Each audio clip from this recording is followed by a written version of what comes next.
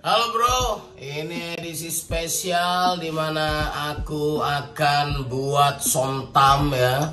Somtam itu kayak rujak ya, ya semacam rujaknya orang Thailand ya. Dari ini, dari pepaya muda ya. Dan saya pakai sausnya cumnam. Wah ini sausnya, ini saus ikan bro, dari fermentasi ikan. Jadi ini rasanya nanti seperti apa kita akan buat dulu. Yuk gimana? Langsung kita makan ini sama kita nanti bakar-bakar daging. Mesti dapat suka jajan edisi spesial. Kita masak sama sausnya si Cumnam Orang yang paling the best soal perujakan Orang Thailand itu. Wah ngeri. Ini dia itu apa namanya? Uh, Selebgram sukses banget dia Live-live gitu Rujak segala macem. Dan nih kita dapetin sausnya mantap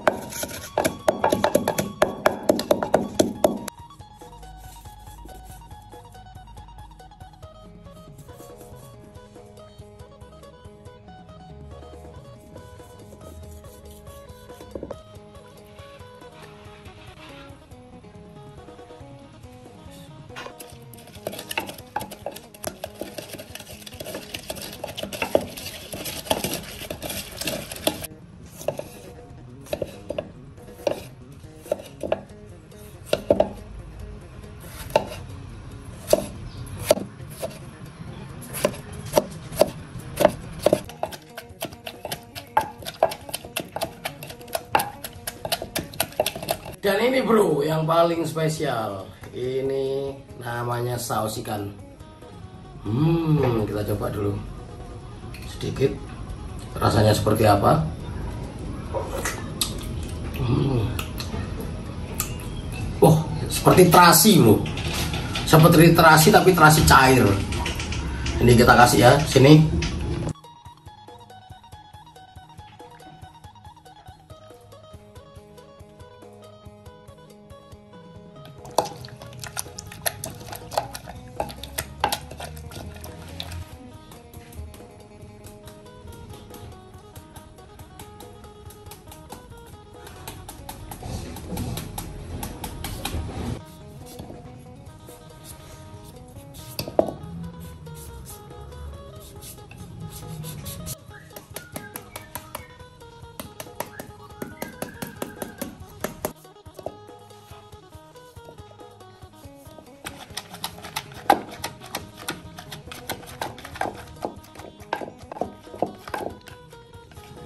Oke bro, rujak saya udah jadi somtamnya. Cuma somtam itu biasanya dikasih ketam bro. Ketam itu uh, kepiting sungai atau kepiting laut, pokoknya kepiting kecil. Itu ditaruh di sini dan kayaknya saya nggak bisa kayak gitu dan juga dikasih bawang merah kayak gitu. Ini kalau rujak kasih bawang merah kayaknya kurang masuk bro. Jadi ini saya rujak somtam dengan ala saya sendiri bro tapi rasanya ya mirip lah. Karena aku semua saya lakuin apa yang dianjurkan di resepnya saya lakuin cuma ada beberapa yang nggak saya kasih. Karena memang saya nggak bisa makannya. Mantap. Ini dagingnya kita ambil dulu. Kita potong dan kita bakar dulu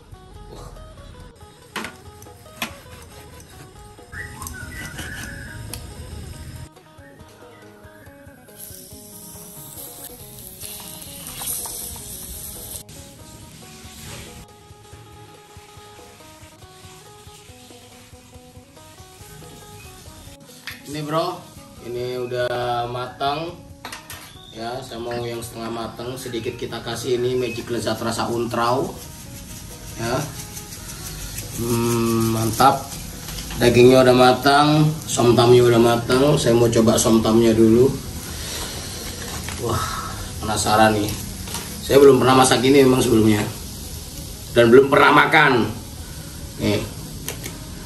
Ini kita ambil jangan terlalu banyak dulu. Ini ya ini kita ambil ini ya. Oke. Kita coba bro. Bismillahirrahmanirrahim.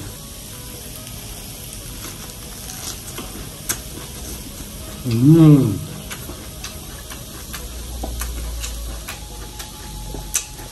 Hmm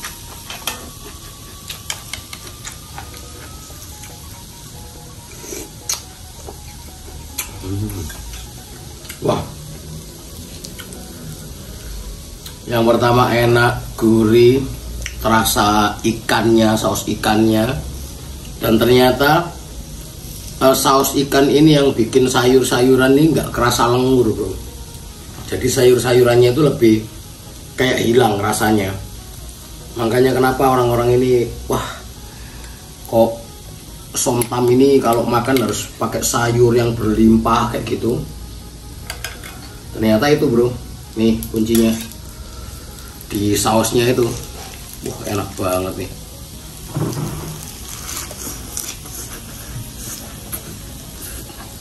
Hmm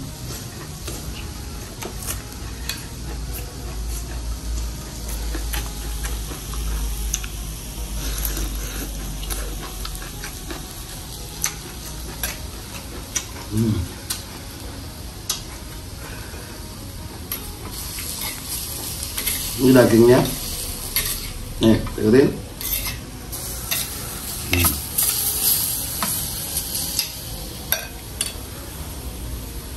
Kita ambil satu.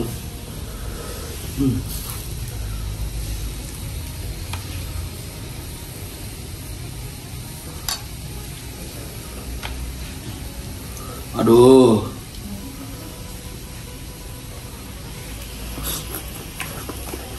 Hmm.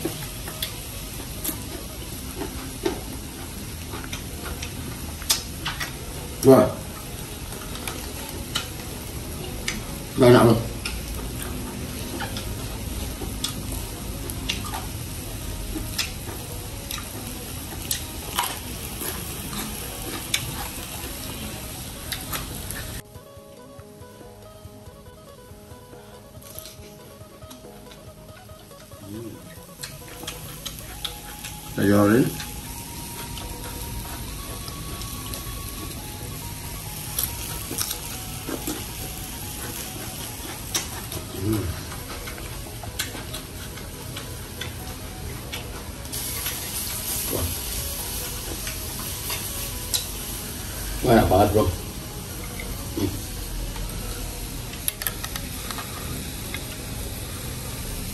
Jadi ini sewaker banget. Nah.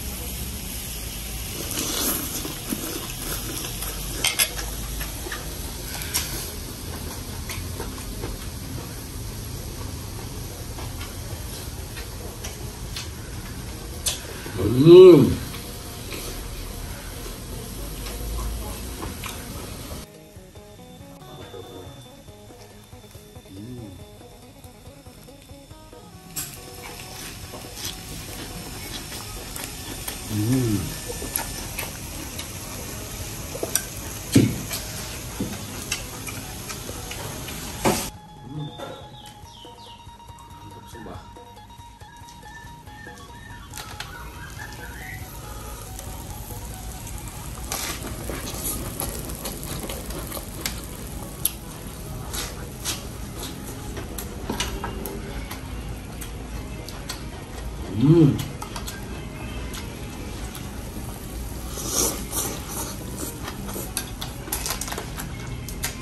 Hmm.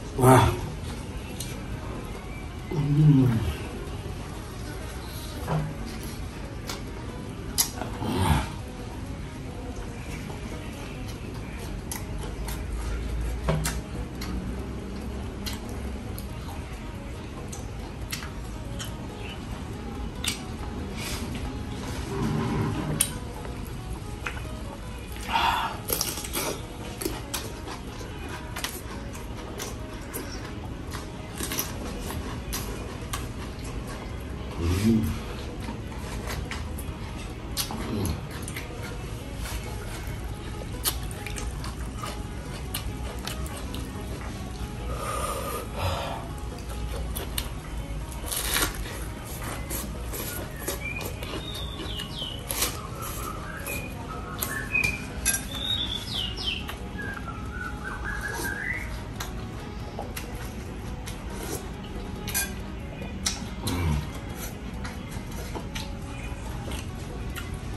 Wah, enak banget bro Sausnya ngeri Wah, pantesan banyak orang yang beli ya.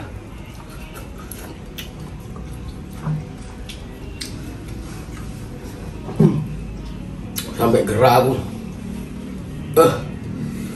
Hmm. Lagi ini dagingnya bro Yang kita bakar pakai cobek Dan dikasih ini, wah. Hmm,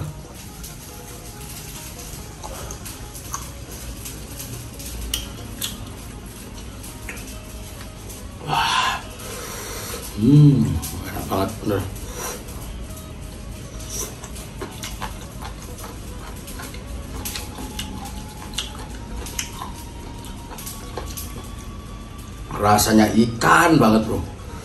Hmm.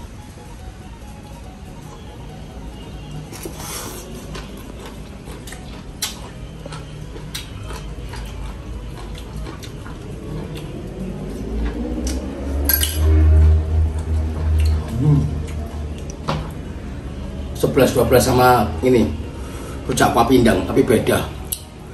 Untuk segi ikan ikannya itu hampir mirip. Wah. Hmm.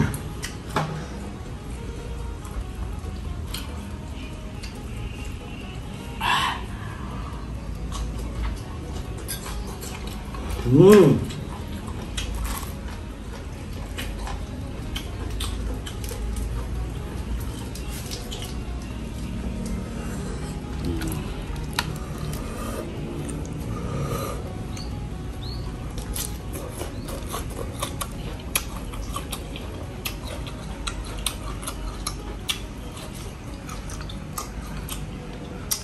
Hmm.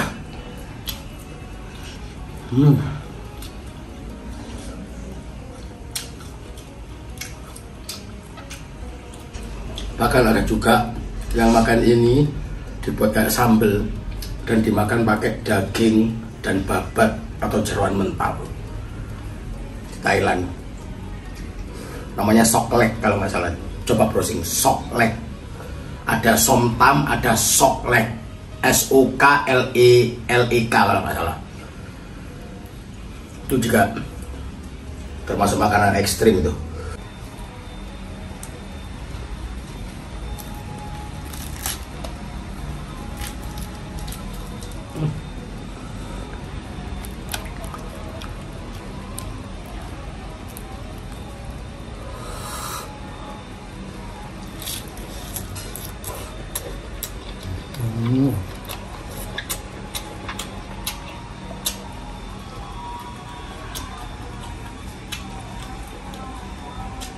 Hmm. Ini nasinya biasanya diginikan dulu bro. Baru dicocolin ini ke ini. Hmm.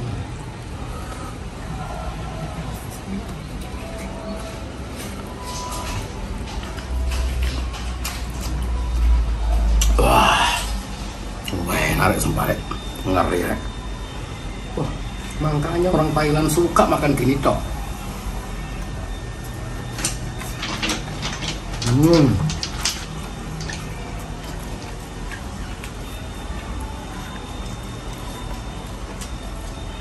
ah. hmm. Wah.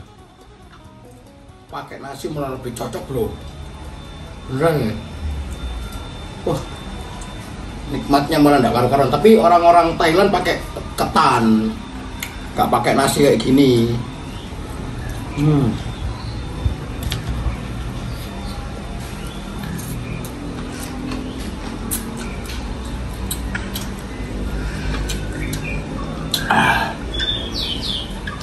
Hmm.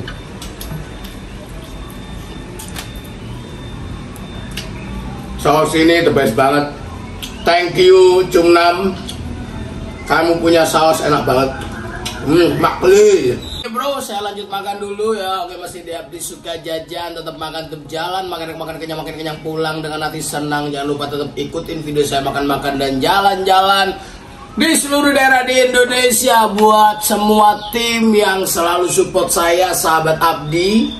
Sekarang jadi sahabat Abdi aja, Bro karena banyak yang tersinggung ketika bilang pecinta janda apa segala macam kita jadikan sahabat abdi aja.